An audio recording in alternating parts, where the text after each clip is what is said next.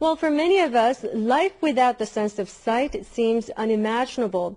A unique exhibition called Dialogue in the Dark, underway in southern Seoul, offers visitors a chance to see beyond the visible. Park Soo-jin takes us there. Ever imagine living in complete darkness without any idea of how the world looks? Well, Dialogue in the Dark is a one-of-a-kind opportunity to experience life using all your senses but sight. After a brief orientation, visitors are given a white cane to find their way in a pitch-dark room that includes a park, marketplace, and even a bar where you can order a drink. Sounds impossible? Well, quite possible with the help of a visually impaired guide.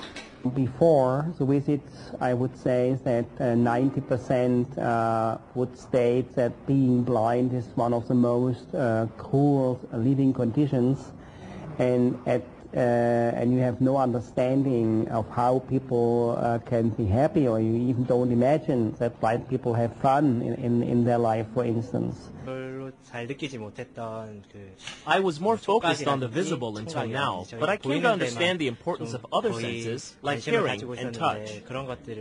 Besides making maximum use of the remaining four senses, visitors are encouraged to engage in continuous dialogue with each other throughout the one-hour-long tour. Well, in the beginning, I really felt kind of scared. Well, I didn't know what to, uh, what would come actually, but uh, after a couple of minutes, I really felt the bond with the guide and my students as well. As visitors say, the absence of sight, ironically, allows for a more profound connection between people.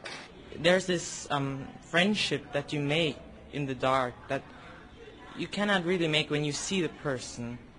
The tour not only offers non-disabled people a chance to put on the shoes of the visually impaired, but also empowers the socially marginalized to become more aware of their potential. Until now, I agonized over what I could do, but I realized that I could do something through this experience. In the dark, the visually impaired are definitely stronger. This unique exhibition drew more than 5 million visitors in 130 cities across the world since its launch in 1988. On its first tour in Seoul, the eye-opening exhibit runs until March 11th at the Seoul Art Center. Park Soo-jin, Arirang News.